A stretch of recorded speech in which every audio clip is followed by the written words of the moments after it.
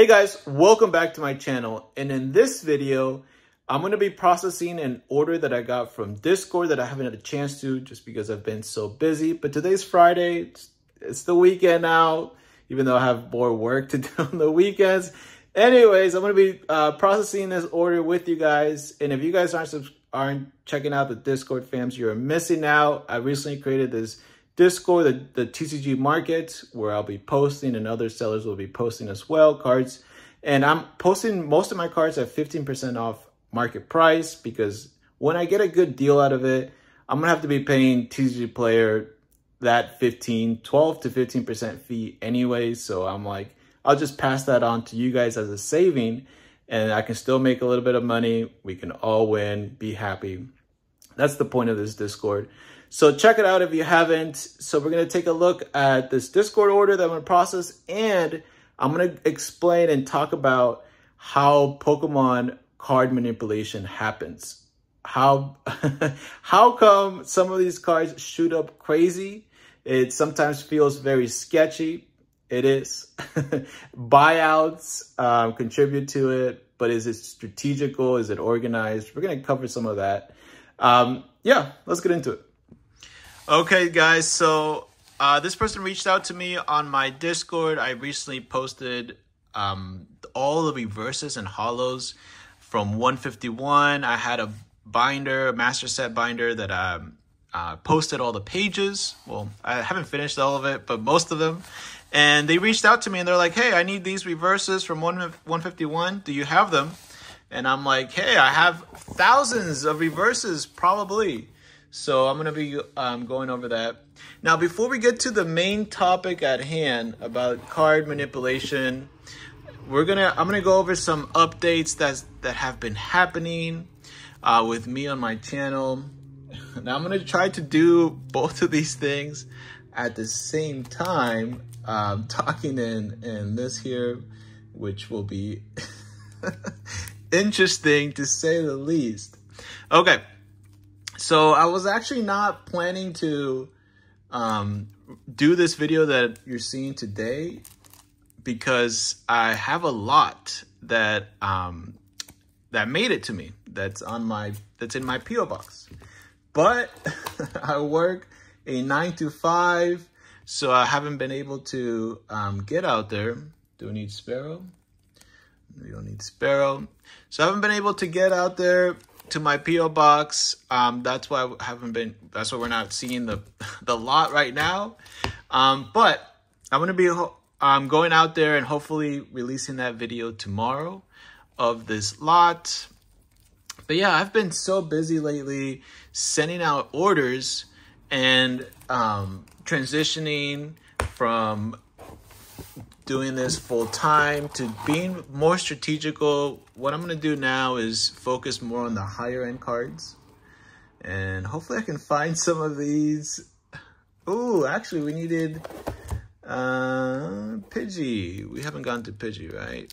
Spearow, Spearow, Raticate. Okay. So we need Pidgey. Yeah, so I've been um, dealing with this transition, but once this has uh, passed the transition period, it should slow down for me because right now I'm doing two jobs.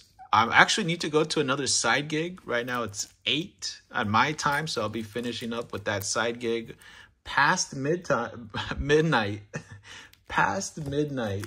So there, I have a lot, a lot on my plate, but I'm here creating this video, talking to you guys. Pidgey, Pidgeot. Hmm. Yeah, we need this one. Found one. so this does take a, uh, some time. That's why I haven't done it so far. And I've just been busy with other things. Okay. So getting to the topic at hand before I get too distracted with this. Um, why, what's going on with the marketplace?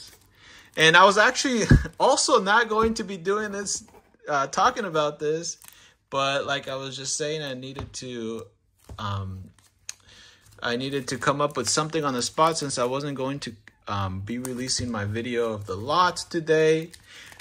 And you know, the reason that I'm decided to talk about this today is because I saw an article um, detailing this, which I found it fascinating, and I wanted to share with you guys. Which one was this one? Jigglypuff. Oh, that's right. We just put the one that we needed away. All right, so I'll make sure to not do that. As you guys can see, these are um, organized by name, so I'm going to try to keep this as organized as possible. But trying to do all this at the same time is not easy. Maybe I should have uh, overlaid this and recorded it separately. It doesn't matter. It's more natural this way. You guys can see. you see me struggle. so I'm pretty sure these are all reverses the fam is looking for because this list doesn't say reverse or holos, but I said I had a bunch of reverses. I had 3,000. So Chansey, they're looking for three Chanseys. Bam. If you guys are looking for 151 reverses, let me know. Look, I have a lot. and these, some of these have good value, so it could make a big difference doing the 15%, right? All right, Chansey. Okay, so I saw an article today, and this didn't really relate to TCG Player, um, but it related to the European version of it. European version of TCG Player, so the more established um, buying and selling, right, um, website out there is called Card Market. Awesome, okay. Ooh, do I need Snorlax? Snorlax, I need three of them. One, two, three, perfect. I still have some Snorlax. Snorlax is really, really popular. I think that has really good value as well. What I'm going to do is once I pull these out, because they asked me if I had these, um, once I pull these out from my inventory, I'm going to then price check it. And how I'm going to price check it is just put them all in the TCG Player app. So that way I can send them pictures as well. It's all transparent. They can see everything. All right, Snorlax. We found some. Look at this, fams. We're making progress. Um, multi, triple tasking. Showing you guys this, processing this, talking about this. All right, fams. Remember, drop the like if you guys appreciate all this effort. Okay, so what's happening at Card Market? Well, I'm going to show you guys this article. I have it printed out here next to me as well so that um, I can try to remember all the info. Do we need Farfetch'd? Uh, no. Okay. So this card mark card market again, this is the equivalent of TCG Player out in Europe. And what's happened is that the title was Card Market sues vendor for uh, market manipulation. And this is something that I've thought about as well myself, how this comes about, that people are able to manipulate the market. By the way, this is all entertainment purposes, right? I'm not out here advocating anyone do any of these things. But I've I've always thought about it, and in my opinion, uh, based on everything that I know, being a seller, um, buyer, seeing the system, the ins and outs of it, in my opinion, if you're wanting to do something like this successfully, which is raise the price of a card, um, which in result would equate to like it's a buyout, whether it be real or or fake, um, you would need a buyout for something like that, and you would need to have connection with a buyer. So that is something that I've always thought. I was like, how does this happen? Well, I'm like, okay, some there has to be a buyer in. I mean, a seller. sorry, so there has to be a seller in the mix of this. If it's um, if it's a, a someone's trying to do it for sketchy reasons or naturally, I think, well, naturally, you don't need to have sellers be involved, but I think if you're if you're trying to do this artificially, trying to pump up the price of a card, I think, in my personal opinion, you have to have a seller involved in it. And I always thought that um, the whoever's trying to pump up the price artificially would have to actually buy the cards out, the lower, um, the lowest listing ones. But this news story that I'm I came across opened my eyes to a different method and I want to go over that and explain. So what I just went through is my hypothesis of how I thought would happen um, to be able to inflate a card price.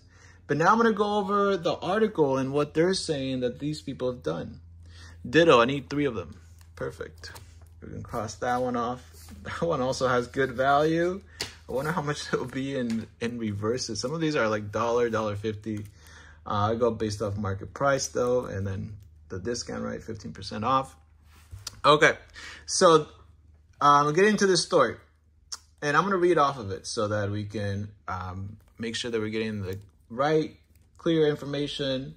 So it says this type of fraud, the seller. So we're now they're explaining how the fraud happened, how people pump up um, card prices, and they're talking about this specific seller that did this on Card Market's store, and they did this with the um, Van Gogh Pikachu. They did this with Van Gogh Pikachu. I feel like you would have to do this with promos because those aren't that readily available that someone can just come and and they see the the price being crazy and they can just list a lot a lot uh, a lot of them right and then ruin the price ruin the the whole thing that you're trying to do so it, they did this with the promo the van gogh promo in this type of fraud, it says, quote, this type of fraud, the seller used fake accounts to buy the cheapest, cheapest listings without paying for them. So that right there, I don't understand. um, buying the cheapest listing, buy is in quotes, so meaning they're offering them, um, let me see. Oh, it says, which temporarily removes them from the marketplace. Mm, okay, it says, they, but they never pay for it. So how do you buy it without paying for it? Maybe they have it in their cart and the system registers it as already gone out of the system. Um, or they have some sort of some sort of like loophole that they can use. Maybe they're playing with with gift cards and right some sort of some weird way that they're figuring out to actually temporarily pay for it. Anyways, they're not actually paying for it, but they're getting it to be marked as paid in the system, which temporarily removes them from the marketplace. That is the key. If you're temporarily removing the lower listings from the marketplace and you're the only one listing, then you can raise the price as much as you want. All right, I'm to keep going.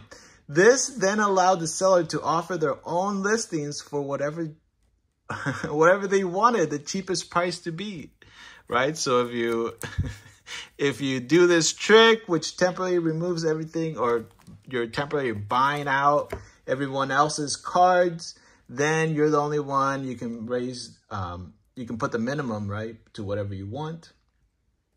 So then they said, um, the, uh, so the article got an inter, um, yeah, they got a letter that Card Market sent to the seller, and the this is the part from the letter. It says, you bought, so the seller, they're talking about to the seller, you bought competing offers that never paid for nor had the intention to do so. So that's what the car Market letters say. You consistently aim to, prov to provide the lowest price for the specific card. So they're targeting this one card. This is Card Market noticing that this card is being manipulated on their site um, and then they're like in a total of 31 cases. So they're able to specifically point to how many cases, which is awesome of them. Um, it gives them more credibility, right? And this person needs Aerodactyls. Look at this, fam. Aerodactyls, how many do we need? Three. All right. One, two, three. Find some cards. Okay, so they did this 31 times. Um, you're able to sell the Pikachu with gray felt hat, so Van Gogh Pikachu, with this action. So the card market, notice that they did this 31 times. Notice that they were able to sell the Pikachu successfully by doing this 31 times. And then uh, the, the article says, the company goes on to say this behavior is anti-competitive and is at least punishable as fraud. So that is interesting to me. This might create a precedent of um, these established market online um, buying and selling trading, no, buying and selling marketplace um, to actually do something about these. So if Card Market's doing something about this, maybe TCG Player will follow suit. But what car Market is doing is they're this they're sending the seller a bill of twelve thirteen thousand dollars because that's what they estimated that they've profited from this scheme. That's insane, fam. From 31 sales, they got $13,000. So it is clearly successful, um, or I mean, very profitable for them to do it. That's why they would probably they were probably doing it. But thirteen thousand dollars, wow, insane. So they're asking for the thirteen thousand dollars back um, to pay for damages. Now I'm not sure what that does. why would car Market? Interesting. I'm pretty sure they're just trying to punish the seller um, otherwise, they'll take them to court. And they have a pretty good case. They know exactly how many times it happened, when it happened, how, and if they were able to get sales from it. This person needs three Eevees. One, two, three. Perfect. Look at this, fams. Moving and cruising. Now, this is a big list. um, I definitely just scratched the surface of this list.